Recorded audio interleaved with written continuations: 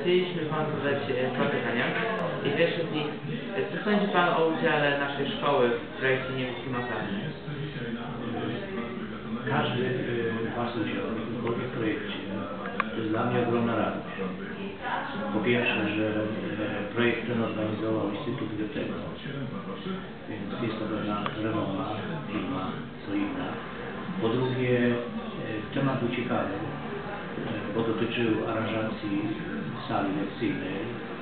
W związku z tym, jeżeli wyżeście się to zaangażowali i mieliście jakieś własne pomysły, wspólnie razem z panią od niemieckiego, e, no to stworzyliście jakąś taką swoją salę przyjemną do nauki, do pobytu, e, takiego efektywnego podejścia do nauki, tak żeby was to bardziej motywowało.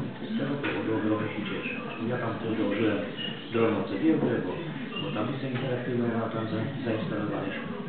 Więc zawsze jestem za tym i ogromnie się cieszę i jestem i dziękuję Wam za to, że, że braliście udział e, i no tak wyszło jak wyszło, się że zostali wyróżnieni.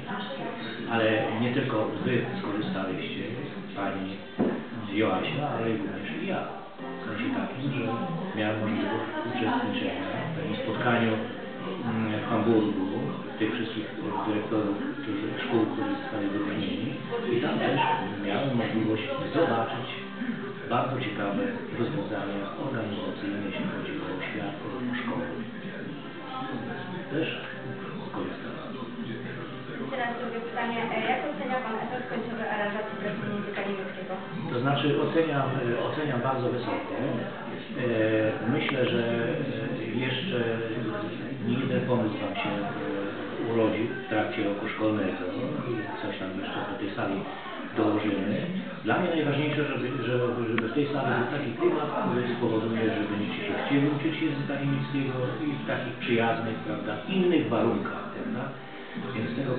ogromnie się cieszę i liczę jeszcze na dalszą Waszą pracę, dokończenie, a ja będę wspierał.